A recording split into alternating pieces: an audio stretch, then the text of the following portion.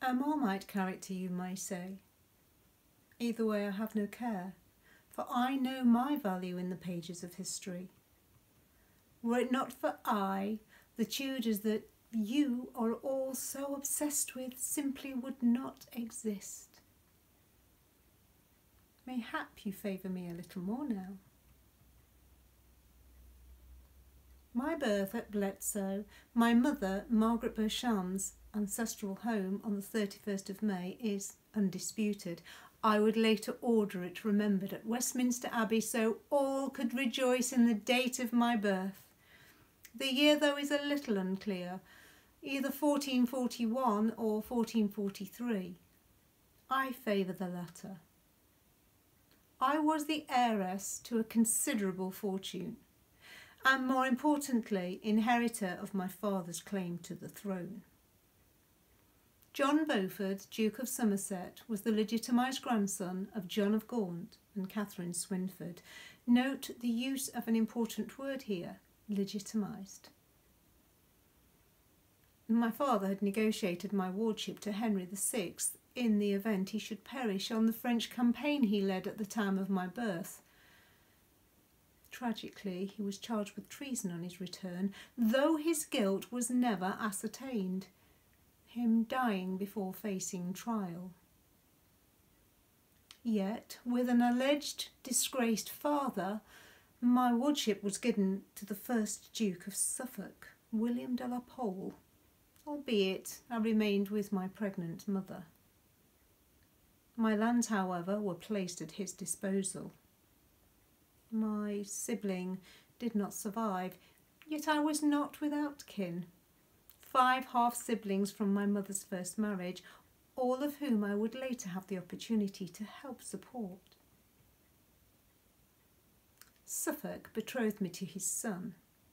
I was just one year old. This required a papal dispensation as we were closely related. A calculated and cunning manoeuvre on his part to get his hands on my inheritance and to add weight to his own claim to the English throne. This faux marriage.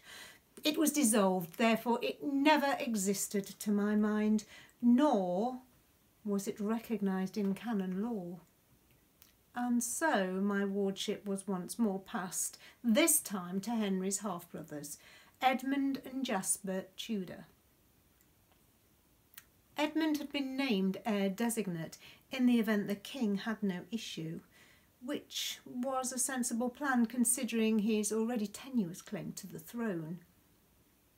These brothers were the sons of their joint mother, the Dowager Queen Catherine of Valois, and Owen Tudor. Henry saw me as a good match for Edmund, albeit he was 12 years my senior. Our union would strengthen his claim. Age 9. I was considered of an age to assent to the marriage, which I did so of my own volition. I felt divinely guided to do so. And so Three years later, we were wed, just as the Wars of the Roses had begun. My husband, a Lancastrian, was swiftly taken prisoner by Yorkists and held at Carmarthen Castle. Here he died of the plague. I was thirteen, a widow, and pregnant. my brother-in-law Jasper took me into his care at Pembroke Castle. And on the 28th of January 1457 I was delivered of a son, whom I named Henry for the king. His birth was far from easy.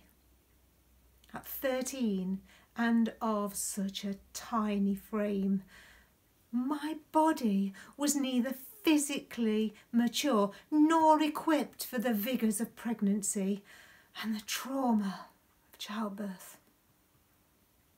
It was generally considered a miracle that he was born at all, of so little a personage. Oh, I felt this only too well. The hand of God had guided that child from me.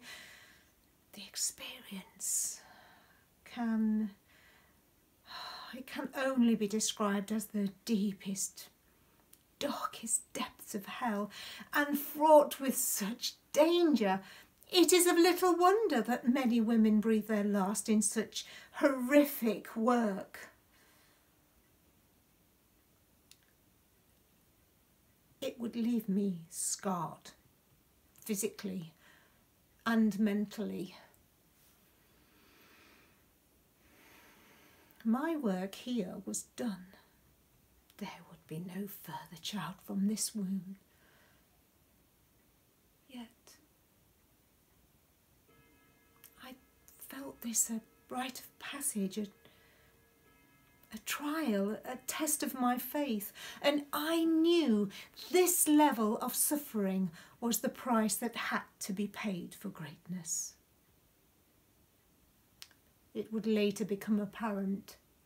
This was only the first of many battles I would fight in the war to come. My very reason for being was now clear. God had shown me my path, and I set a mission.